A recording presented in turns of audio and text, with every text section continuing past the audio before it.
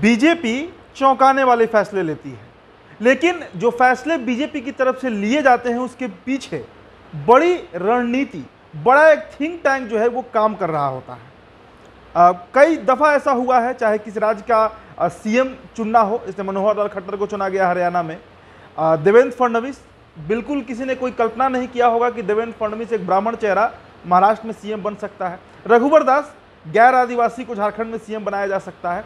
तो इस तरह से चौंकाने वाले फैसले बीजेपी लेते रहती है। अब देखिए, बिहार के संदर्भ में हम बात करेंगे। दो दिन पूर्व एक और चौंकाने वाला नाम सामने आया। नेता प्रतिपक्ष के तौर पर आप समझ गए होंगे। हरी सहनी की हम चर्चा कर रहे हैं। हरी सहनी, जो कि 2022 में एमएलसी बनते हैं, और 2023 के अगस्त माह में वो बिहार के, आप कह सकते हैं, सबसे बड़े नेताओं की सूची में शामिल हो जाते हैं। भाई बड़ा नेता इसलिए कह रहे हैं क्योंकि एक तरफ़ मुख्यमंत्री होते हैं उप मुख्यमंत्री होते हैं और फिर नेता प्रतिपक्ष का ही नाम आता है चाहे वो विधानसभा का हो या विधान परिषद का हो। अब हरी सहनी एक अनएक्सपेक्टेड नाम। आ, किसी ने कल्पना नहीं किया होगा कि हरी सहनी जैसा और ऐसा भी नहीं है कि बहुत लंबे समय से परफेक्शन आईएएस सिविल सेवा बीपीएससी यूपीएससी परीक्षा के लिए एकमात्र समर्पित और रिज़ल्ट ओरिएंटेड संस्थान, बेहतर सफलता के लिए केंद्रित। Perfection IAS foundation course Hindi और इंग्लिश माध्यम में विश्वसनीय गाइडेंस के साथ सुनिश्चित की जाती है। चौसठवीं, पैंसठवीं, छियासठवीं बीपीएससी परीक्षाओं में सबसे ज़्यादा, एक सौ सात, उनहत्तर, एक सौ इकतीस क्रमशः रिज़ल्ट देने वाली संस्थान। Perfection IAS Kumar tower, Boring road, Patna. वो पार्टी में रहे। 2011 में तो उनका राजनीतिक करियर ही शुरू होता है। पीटी के टीचर रहते हैं, एक विद्यालय में वहाँ से रिजाइन करते हैं, जिला परिषद का चुनाव लड़ते हैं, जीत जाते हैं। फिर जिला परिषद अध्यक्ष भी बनते हैं। 2015 में पहली बार बीजेपी का टिकट पर चुनाव लड़े बहादुरगंज से, फिर हार गए। तो कोई इतना बड़ा चेहरा भी नहीं थे, लेकिन उनके निष्ठा को देखते हुए और जातीय समीकरण को ध्यान में रखते हुए उन्हें बना दिया गया। जातीय समीकरण का ज़िक्र हम क्यों कर रहे हैं, सारा बात आपको डिटेल में बताएँगे। पहले आप ये जान लीजिए कि मीडिया के गलियारों में या राजनीतिक गलियारों में इस बात की चर्चा। जिस दिन सम्राट चौधरी बिहार के प्रदेश अध्यक्ष बने बीजेपी के, उसी दिन से चल रही थी कि नवल किशोर यादव जो हैं, क्योंकि करीब 20 साल से एमएलसी हैं बीजेपी के और फायर ब्रांड नेता माने जाते हैं।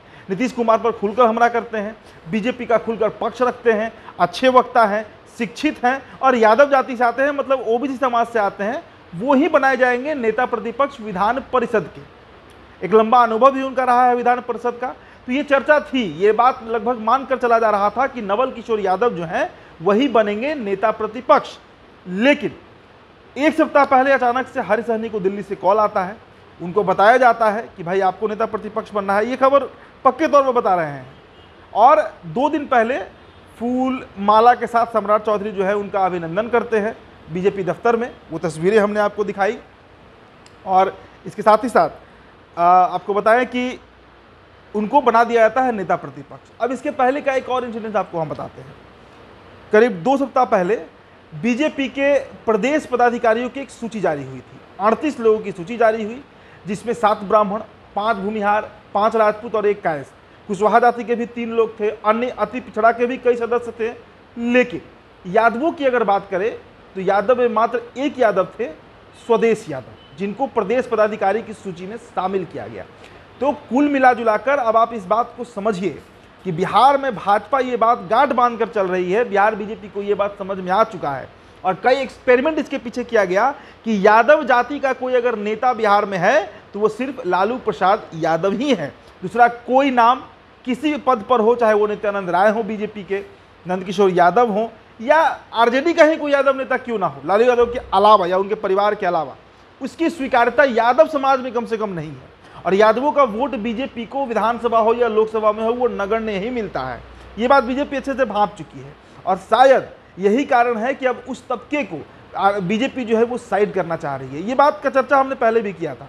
जब प्रदेश पदाधिकारियों का लिस्ट आया था, अड़तीस लोगों का सूची था, उसमें जब एक ही यादव दिखा तो ये ये चर्चा हुआ था कि भाई बिहार की वो जाति जिसकी आबादी सर्वाधिक है, सबसे अधिक है, और बीजेपी रिप्रेजेंटेशन देने वाली पार्टी है। बीजेपी बराबर हिस्सा और हकदारी देती है। आप इसी से अंदाज़ा लगाइए कि देश में आज अगर 303 बीजेपी के सांसद हैं तो उसमें 209 जो हैं, वो पिछड़ा अति पिछड़ा और दलित समाज के हैं, अनुसूचित जाति, अनुसूचित जनजाति के हैं। 28 राज्यों के प्रदेश अध्यक्षों का अगर आप सूची देखिए तो सात आठ राज्यों को छोड़कर सभी जगह जो पिछड़ा नेतृत्व है, उनको खुद बिहार में सम्राट चौधरी बैठे हुए हैं, पिछड़ा समाज से आते हैं। तो बीजेपी रिप्रेजेंटेशन देती है, चाहे वो सवर्ण हो, पिछड़ा हो, अति पिछड़ा हो, अनुसूचित जाति हो, अनुसूचित जनजाति से हो या आदिवासी हो। लेकिन बिहार में अचानक से यादवों का एकदम मिनिमाइज कर देना, उनका ग्राफी खत्म कर देना, कहीं ना कहीं इस बात का संकेत बीजेपी ज़रूर दे रही है कि जो वोट करेगा, उसी के साथ बीजेपी खड़ी रहेगी।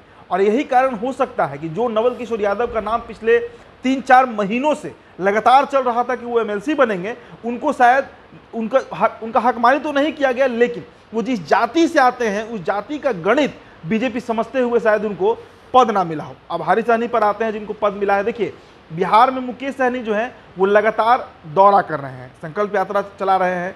संकल्प या, संकल्प यात्रा में जिस भी अब कल वैशाली गए हुए थे उसके पहले बलिया गए कैमूर गए रोहतास गए यूपी में कई जिलों में घूमे वो। जहाँ जहाँ जा रहे हैं वहाँ कसम खिलवा रहे हैं मल्लाहों को कि तब तक बीजेपी को वोट नहीं देना है जब तक बीजेपी मेरी शर्तों पर मुझे मन मुताबिक सीट ना दे दे और एनडीए का हिस्सा ना बना ले। हालाँकि वो कह तो रहे हैं कि जब तक आरक्षण नहीं, तब तक वोट नहीं, लेकिन आरक्षण का मसला नहीं है। मसला साफ़ है कि मुकेश सहनी ने कुछ शर्तें बीजेपी के सामने रखी। वो शर्तें यही थी कि जब छः प्रतिशत आबादी वाली दूसरा जाति के नेता चिराग पासवान को पाँच से छः सीटें मिल सकती हैं तो ठीक उतनी ही आबादी बिहार में मल्लाहों की है। और बिहार, उत्तर प्रदेश, झारखंड में करीब पाँच करोड़ इनकी संख्या है मल्लाहों की। तो उस अनुसार उतना रिप्रेजेंटेशन के अनुसार मुझे सीट दिया जाए। ये भी हो सकता है कि मुकेश सहनी बिहार के अलावा झारखंड में भी सीट का मांग कर रहे हो, उत्तर प्रदेश में भी मांग कर रहे हो, लेकिन बीजेपी उनको सिरे से नकार दी। इसका उदाहरण इसका आप कह सकते हैं कि प्रत्यक्ष प्रमाण उस दिन मिला जब 18 जुलाई के दिन दिल्ली में विपक्ष विपक्षी एकता की बैठक के खिलाफ एनडीए का बैठक था इसमें छोटे से छोटे दलों को नरेंद्र मोदी ने बुलाया था, लेकिन सहनी जी को न्योता नहीं गया था। मुकेश सहनी मुंबई में थे उस समय, टिकट कटवा कर बैठे हुए थे दिल्ली का, लेकिन जब फ़ोन ही नहीं गया तो वो जाते कैसे? और उसके बाद वो बढ़ के बिहार में यात्रा निकाल दी है। तो हो सकता है कि हरी सहनी को चूँकि हरी सहनी एक बहुत निष्ठवान नेता है, साफ़ सुथरा छवि है और कर्मठ नेता है। और ये बात भी तथ्यात्मक है कि मुकेश सहनी को आगे बढ़ाने में हरी सहनी का बड़ा हाथ रहा है।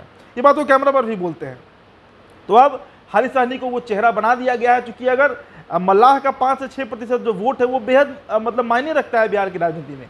वो जिस पार्टी की तरफ़ पड़ेगा, जीत उधर होगी, इसमें कहीं दो राय नहीं है। और मुकेश सहनी की स्वीकारिता अपनी जाति में बहुत नहीं है। भीड़ जुटता है। भीड़ तो 2015 के उस दिव्य बड़ा रैली में भी जुटा था जब वो मछली भात का भोज करवाया था, लेकिन वोट कहाँ कन्वर्ट हुआ? पंद्रह में उन्होंने बीजेपी के लिए प्रचार किया, बीजेपी का सुपड़ा साफ़ हो गया।